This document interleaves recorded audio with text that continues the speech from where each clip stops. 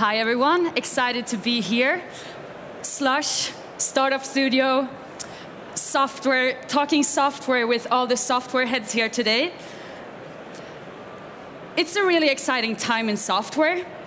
It's a really exciting time because the way we think about sales and marketing in software has changed. This is product-led growth. I'm sure you heard about this term before. This is the new type of engaging with your customers. So what has changed is that before you were starting your customer journey with talking to a human, and then you got to use a product.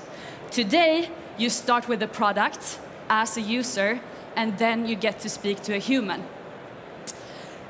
The best companies out there, Slack, Figma, Zoom, all use product-led growth combined with a strong sales and marketing team to grow their companies faster.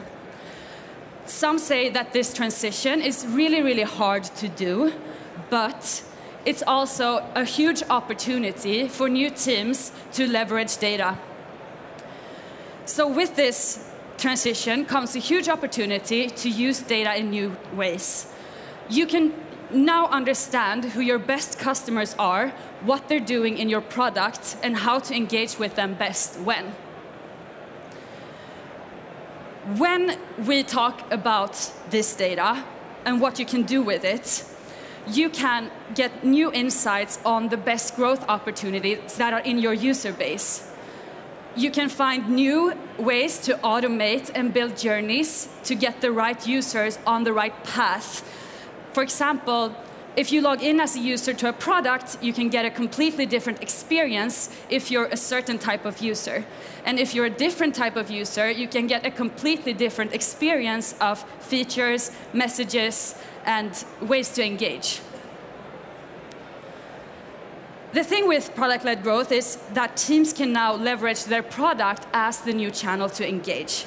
So if you think about it as the new store, you have suddenly a bunch of humans in your store and you can reach out to them and assist them directly with their problems.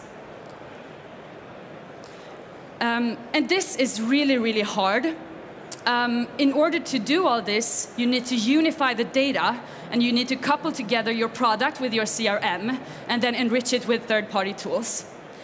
Then you also need to orchestrate and build these journeys in order for, for the right person to be put on the right path. Also, you need to engage with the right customers at the right time, and you need to loop in humans into that motion.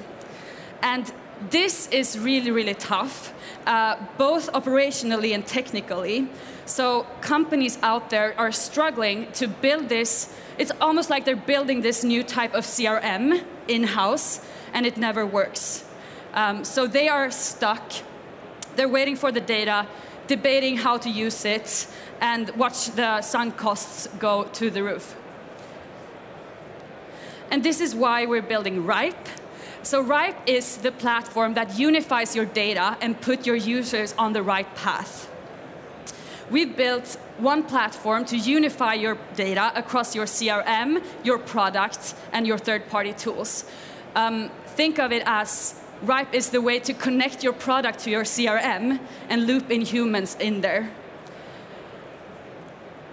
We also built a journey builder that lets you put your users on the right path for conversion and activation. So if you have a highly valued enterprise customer in there, they should get a completely different experience and may, might, might have a human there to assist them directly.